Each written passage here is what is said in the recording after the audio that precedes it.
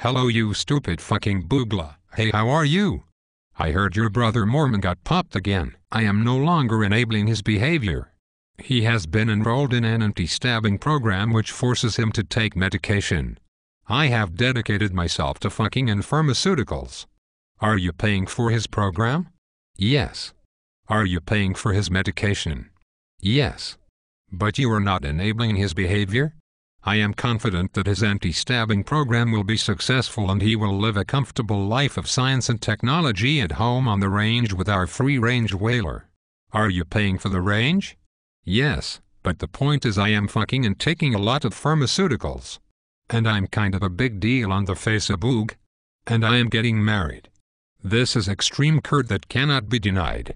My only work is sea level and totally innovative.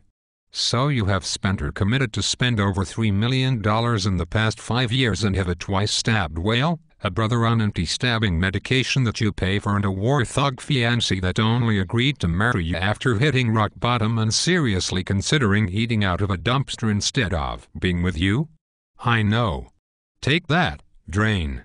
In your fucking face. Fuck you and your twins. I got mine bitches.